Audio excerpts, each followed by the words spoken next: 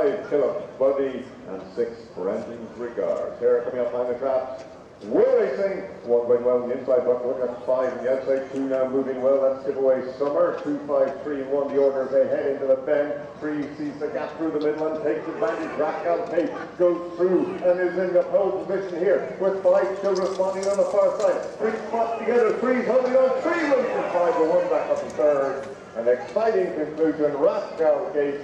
saw the way through on the bend and went on to secure victory, a third win in four starts. The time 1791 for the winner number three, Raffgall.